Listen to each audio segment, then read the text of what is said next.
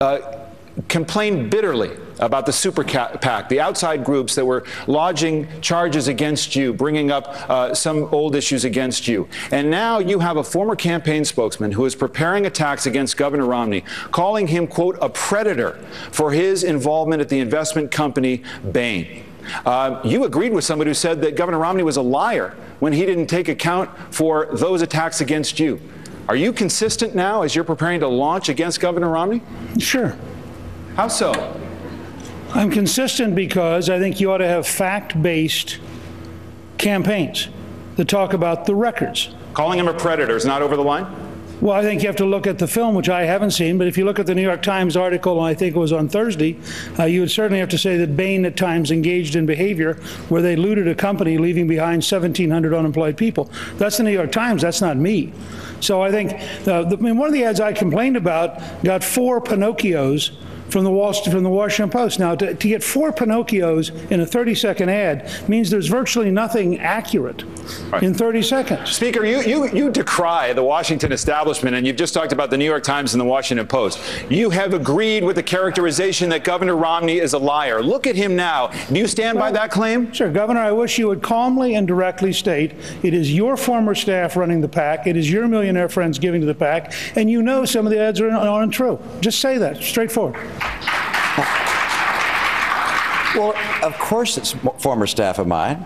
And of course, there are people who support me. They wouldn't be putting money into a PAC that supports me if there were people who support me. And with regards to their ads, I haven't seen them. And as you know, under the law, I can't direct their ads. Oh, speaker, uh, hold on a second. I, I can't direct their ads. If there's anything in them that's wrong, I hope they take it out. I hope everything that's wrong is taken out. But let me tell you this: the, the ad I saw said that uh, that you've been forced out of the speakership. That was correct. Uh, it said that uh, uh, that you sat down with Nancy Pelosi and, and argued for for a, a, climate change bill. That was correct. Uh, it said that you called the the uh, uh, Ron Paul's Ron Paul Paul Ryan's plan to to provide Medicare reform a, a, a right-wing social engineering plan. Uh, it said that, that as part of an investigation, an ethics investigation, that you had to reimburse some $300,000. Uh, those things were all true. If there was something related to abortion that it said that was wrong, I hope they pull it out. Anything wrong, I'm opposed to. But you know, this ain't this ain't a beanbag. Uh, we're going to come into a campaign. We're going to describe the differences right. between us. Wait, wait. Uh, but, I, but I, do sure. think, ahead, but I do think the rhetoric, Mr. Speaker, I, I think was a little over the top. You think my rhetoric was well, over the top, I, I, but your ads were totally reasonable. I, I just want to understand. again, I've taken the again, governor's Mr. advice. Speaker, Mr. Speaker, the the super PACs that are out there running ads, with Ron Paul's, mine, yours.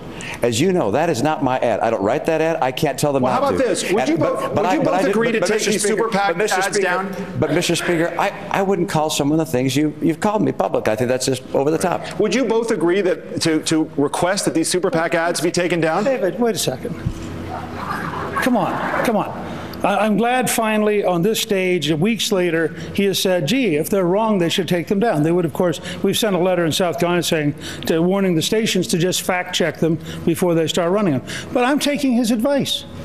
You know, we started to run his commercial from, from 1994 attacking Teddy Kennedy for running negative ads. We thought, no, that would be wrong. So instead, I, I, agree with him. It takes broad shoulders to run. If you can't take the heat, get out of the kitchen. When the 27 and a half minute movie comes out, I hope it's accurate. I, would, I, I, I can say publicly, I hope that the, the, Super PAC runs an accurate movie about Bain. It will be based on establishment newspapers like the Washington Post, the Wall Street Journal, the New York Times, Barron's, uh, Bloomberg News, and I hope that it's totally accurate, and then people can watch the 27 and a half minutes of his career at Bain and decide right. for themselves. Let me ask you Senator Santorum. We've talked some about the role of government, but the presidency is often called the bully pulpit. I wonder, as president,